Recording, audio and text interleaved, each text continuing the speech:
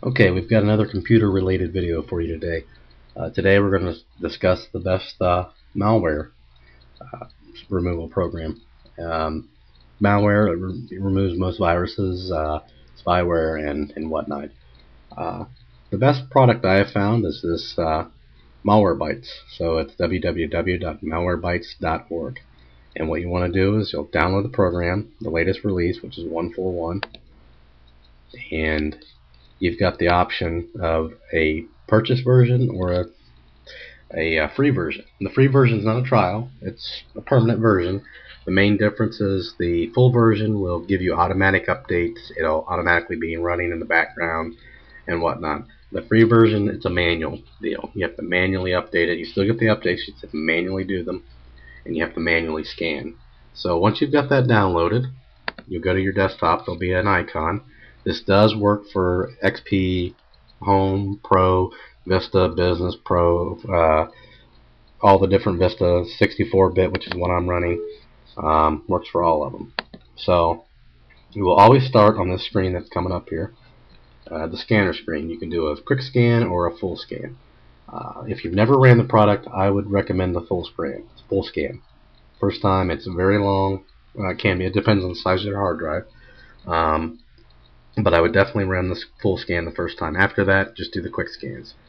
And you've got different tabs. Protection, that's only if you've purchased the product. Here's where you update. You can see I do not have the latest update, 1.40. Quarantine, this is where your viruses will be found. Uh, if they're in there, they'll be in red and delete them all. Blah, blah, blah. And then you've got logs. This is just uh, when you've ran it. See, I don't really run it too often. Um, not even once a month ignore list if there's a program that's coming up as malware and it's actually not put it in here. And then you've got the settings right here more tools um, this is bug reporting I don't really use that and then obviously about.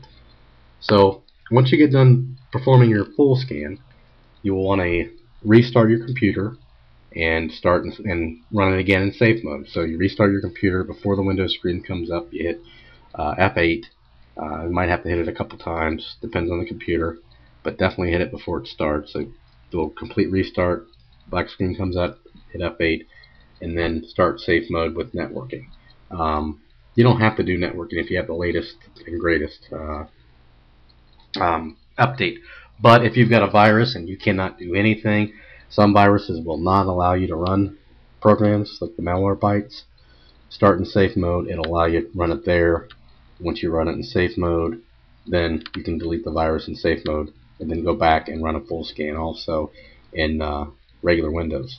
So do keep that in mind. So if you've got a serious virus, run start in safe mode F8 and uh, run the Malwarebytes there.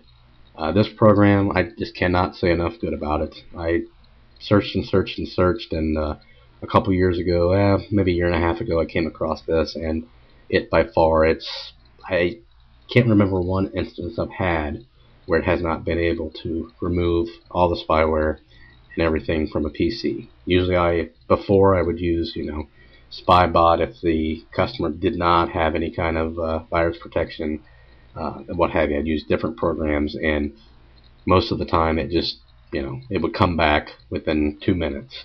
This so far has been just, that's been awesome. Um, so definitely worth taking a look at. It's totally free. And once you scan, we'll do a little scan here. It just says object scan, object infected, and you know tells you what files it's currently going through. We're going to abort. Yes, I want to abort. So there you have it. And then also uh, actually gives you a notepad of everything you've done. And that will be in your, your log list. So go to your logs. You can see right there is where I just ran it. You can actually click on the log. Um, I may have had a virus somewhere in here. Let's see here. Nope, none there. Um, yeah, registry data, infect items infected one. And that tells you where it was infected. Um, right there. So you can go back and look at all your logs and see what. There was one that had nothing on it. Um, and these are quick scans. You can tell three minutes. And keep on going down the list. There, there was one there. Actually, the same one I had before. So, works really well. I mean, I mean, I am also running some antivirus. You do not want to rely just on this, but this, if you've got a system that's just flat out just boogered up, take a look at this. And uh, please feel free to email me or PM me with uh, questions and comments, and I'll try to answer them as best I can. Thanks for watching.